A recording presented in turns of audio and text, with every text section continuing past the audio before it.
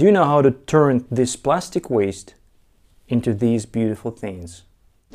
We designed a machine that turns waste bottles into the filament for a 3D printer.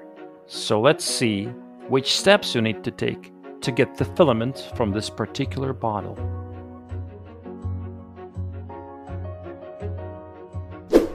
At the first stage, the bottle is being cut into a ribbon.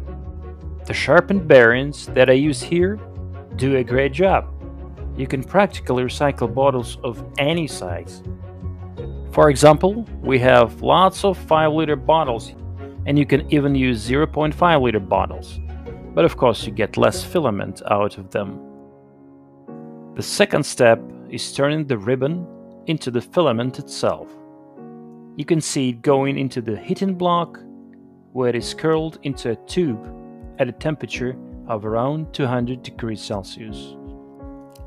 Third step shows the filament wound up around the spool, line to line, and right after the bottle is finished, you can take it out and 3D print it. So we have a simple, old school, Anet 3D printer here. Let's put the filament into it to see how it works. We mostly use 0.8 millimeter nozzles for prototyping, but most of our customers use 0.4 millimeters and get just perfect results. Let us see what they make using PETBOT. Here's Adrian from Romania.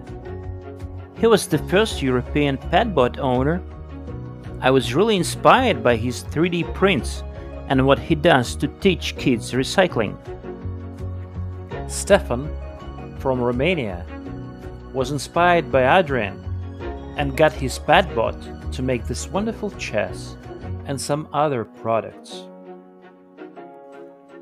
Here's what Luis makes in Portugal, along the coastline. We have many PETBOTs around the world. Project Manai is using our PETBOT machine to make use of the garbage collected during beach cleanups as they arrange events throughout the Mediterranean with the goal of getting the next generation excited in terms of recycling. Get your PETBOT to recycle PET bottles in your country. Earn your living making wonderful products. Teach kids especially with the new educational PETBOT Kit edition.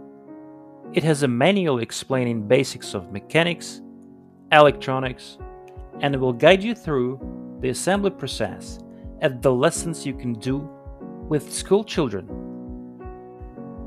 The machine shown in this video is offered as a kit. We provide all basic parts.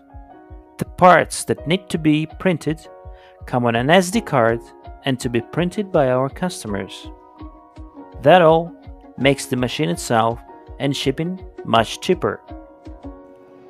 But in case you don't have time to 3D print PETBOT parts yourself, we offer the assembled version of the machine. So please contact us here for more information or if you want to become a dealer in your country or area.